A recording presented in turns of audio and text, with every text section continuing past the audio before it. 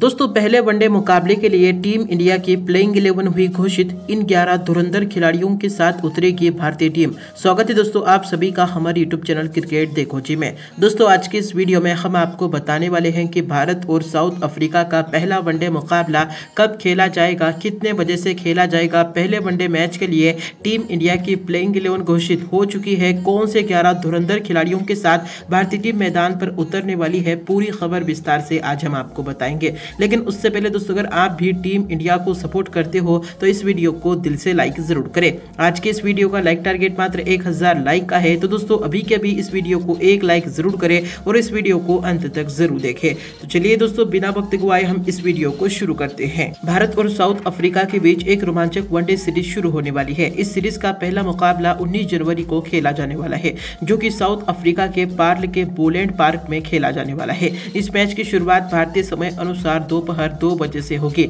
जहाँ भारत और south Africa दोनों ही टीमों के बीच हमें कांटे की टक्कर देखने को मिल सकती है। ऐसे में दोस्तों, आपके हिसाब से यह वनडे सीरीज़ कौन सी टीम जीत सकती है? कॉमेंट करके अपनी जवाब ज़रूर दे। वहीं दोस्तों, इस वनडे सीरीज़ के शुरू होने से पहले ही विराट कोहली ने अब टेस्ट क्रिकेट की कप्तानी से इस्तीफा दे दिया है। उससे पहले विराट कोहली को टी ट्वेंटी और वनडे फॉर्मेट की कप्तानी से हटाया गया था। हालाँकि विराट कोहली साउथ अफ्रीका के खिलाफ खेले जाने वाली मौजूदा वनडे सीरीज़ में टीम इंडिया का हिस्सा है। अब देखना ही होगा कि बतौर बल्लेबाज विराट कोहली सीरीज़ में किस तरह का प्रदर्शन दिखाते हैं। पिछले कुछ समय से विराट कोहली काफ़ी अच्छे फॉर्म में नहीं है। ऐसे में अब इस वनडे सीरीज़ में विराट कोहली बतौर बल्लेबाज अच्छा प्रदर्शन करके आलोचकों के मुँह पर ताला लगा सकते हैं। वहीं दोस्तों, मौजूदा वनडे सीरीज़ में रोहित शर्मा चोट की वजह से टीम इंडिया का हिस्सा नहीं है। ऐसे में टीम इंडिया की कप्तानी के राहुल को सौंपी गई है। भारतीय टीम के साउथ अफ्रीका के मैदान पर वनडे सीरीज़ के पिछले आंकड़े शानदार नज़र आते हैं। साल 2018 में भारतीय टीम ने साउथ अफ्रीका के मैदान पर अपनी आखिरी वनडे सीरीज़ खेली थी। तब भारत ने छह मैचों की वनडे सीरीज़ में बेहतरीन प्रदर्शन दिखाया था। उस वनडे सीरीज़ में भारतीय टीम ने साउथ अफ्रीका को पाँच एक से हराया था। उस वनडे सीरीज़ में विराट कोहली ने भारत की तरफ़ से छह मैचों में सबसे अधिक पाँच रन बनाए थे।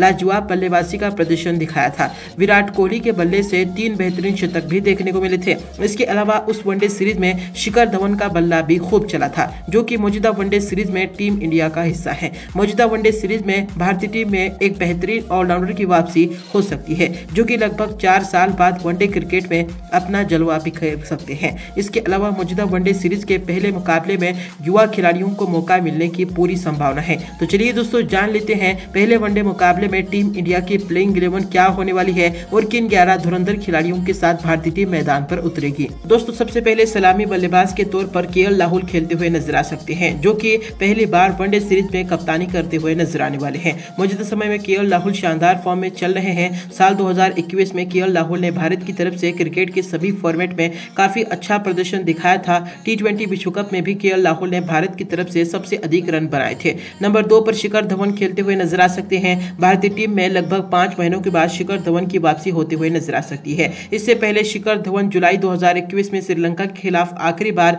भारत की तरफ़ से खेलते हुए नज़र आए थे। लंबे समय के बाद शिखर धवन की वापसी होते हुए नज़र आई है। ऐसे में शिखर धवन शानदार प्रदर्शन कर सकते हैं। साल 2018 में साउथ अफ्रीका के मैदान पर छह मैचों की वनडे सीरीज़ में शिखर धवन ने 300 से अधिक रन बनाए थे। इसके बाद मध्यक्रम में विराट कोहली खेलते हुए नज़र आ सकते हैं। एक के बाद एक विराट कोहली का क्रिकेट करियर बेहद ही नाजुक मोड़ पर आकर खड़ा हो चुका है। विराट कोहली क्रिकेट के तीनों ही फॉर्मेट में टीम इंडिया के कप्तान नहीं रहे हैं। हाल ही में विराट कोहली ने टेस्ट क्रिकेट की कप्तानी से भी इस्तीफा दे दिया है। विराट कोहली के सभी फॉर्मेट में बतौर बल्लेबाज खेलते हुए नज़र आ सकते हैं हालाँकि विराट कोहली मौजूदा वनडे सीरीज़ में टीम इंडिया का हिस्सा नहीं है। वहीं दोस्तों, नंबर चार पर ईशान किशन को टीम इंडिया में मौका मिल सकता है। अब तक ईशान किशन भारत की तरफ़ से दो वनडे मुकाबले खेल चुके हैं, जहाँ दोनों ही मैच में इन्होंने साठ रन बनाए हैं। वहीं इनके बल्ले से एक अर्धशतक भी देखने को मिला है। अब साउथ अफ्रीका के खिलाफ खेले जाने वाले वनडे सीरीज़ में भी इनसे अच्छे प्रदर्शन की उम्मीद होगी। इसके अलावा श्रेयस अय्यर भी खेलते हुए नज़र आ सकते हैं। पहले मैच में श्रेयस अय्यर ने भारत की तरफ़ से मार्च 2021 में आखिरी वनडे मुकाबला खेला था।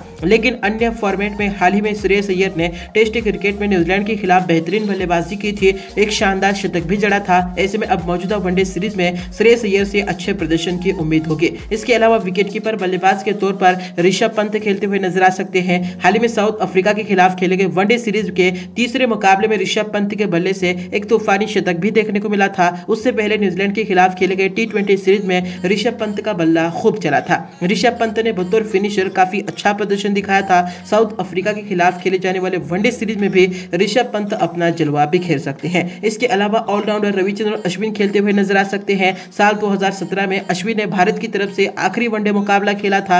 तब चार साल बाद अश्विन को भारतीय टीम में वनडे टीम में मौका मिला था। इनसे बेहतरीन प्रदर्शन की उम्मीद की जाएगी। इसके अलावा नंबर आठ पर युजवेंद्र चहल खेलते हुए नज़र आ सकते हैं। साउथ अफ्रीका के खिलाफ साल 2018 में खेले गए वनडे सीरीज़ में युजवेंद्र चहल ने भारतीय टीम का हिस्सा थे। तब युजवेंद्र चहल के द्वारा बेहतरीन गेंदबाजी देखने को मिली थी, जहाँ युजवेंद्र चहल ने छह मैचों की वनडे सीरीज़ में सोलह विकेट हासिल किए थे, अपना गजब का प्रदर्शन दिखाया था। ऐसे में अब मौजूदा वनडे सीरीज़ में भी युजवेंद्र चहल अच्छा प्रदर्शन करते हुए नज़र आ सकते हैं। हालाँकि पिछले कुछ समय से युजवेंद्र चहल काफ़ी अच्छे फॉर्म में चल रहे हैं। नंबर नौ पर जसप्रीत बुमराह खेलते हुए नज़र आ सकते हैं। साल 2018 में खेले गए वनडे सीरीज़ में जसप्रीत बुमराह भारत की तरफ़ से अपना ठीक ठाक प्रदर्शन करते हुए नज़र आए थे, जहाँ दोस्तों जसप्रीत बुमराह ने छह मैचों में आठ विकेट हासिल किए थे। अब साउथ अफ्रीका के खिलाफ खेले जाने वाले इस वनडे सीरीज़ में भी जसप्रीत बुमराह से अच्छे प्रदर्शन की उम्मीद की जाएगी। गेंदबाजी के साथ साथ इस वनडे सीरीज़ में जसप्रीत बुमराह भारतीय टीम में उप कप्तान की भूमिका भी निभाते हुए नज़र आ सकते हैं। इसके अलावा नंबर दस पर तेज गेंदबाज भुवनेश्वर कुमार खेलते हुए नज़र आ सकते हैं।